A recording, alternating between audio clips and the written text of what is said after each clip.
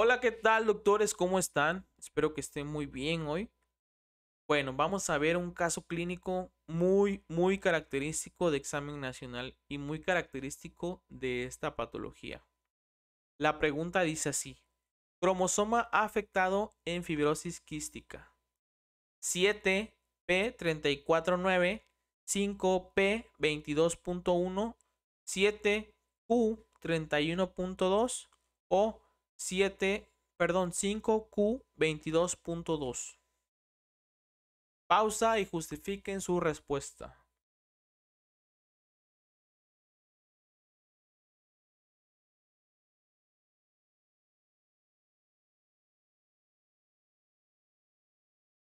Y la respuesta correcta a esta pregunta es el cromosoma 7Q31.2. Bueno, en los tiempos en los que yo estaba estudiando para el examen nacional, me mencionaba una pediatra. Tú debes relacionar algunas veces o característicamente algo que se te pueda asociar con las preguntas. Por ejemplo, me decía, cromosoma afectado en la fibrosis quística. Fibrosis empieza con F y el cromosoma afectado es el 7. Así que fibrosis al revés, la F de fibrosis la podemos voltear y es un 7. ¿Vale? Entonces, 7 fibrosis quística es la respuesta correcta. ¿Sale? 7Q31.2 específicamente.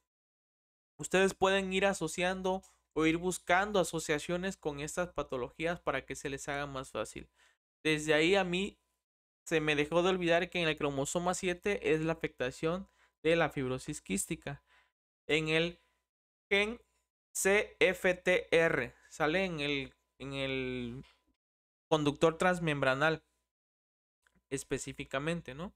Entonces, hay que asociar, hay que realizar esas asociaciones necesarias para que nosotros podamos aprender de una manera adecuada.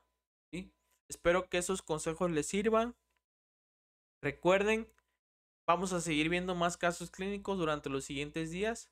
Espero que les haya gustado este, compártanlo a todos sus amigos que igual estén estudiando para el examen nacional. Y sin más, nos vemos en un próximo video.